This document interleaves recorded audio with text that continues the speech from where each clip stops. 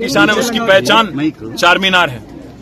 ना सिर्फ़ ना सिर्फ़ हिंदुस्तान में, बल्कि पूरे दुनिया में चार मीनार और हैदराबाद दोनों एक दूसरे के साथ ऐसे जुड़े हुए हैं जिनको कोई अलग नहीं कर सकता।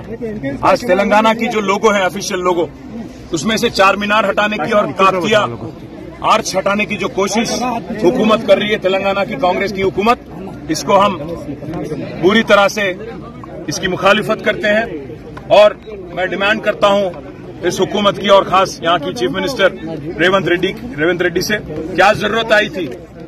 क्या आपको इतना इमीडिएट अर्जेंसी क्या था इसको हटाने की? और क्या ज़रूरी है कि तेलंगाना में दो दस साल हुकूमत चलाए केसीआर साहब? और जिस कदर उन्होंने तरक्की की?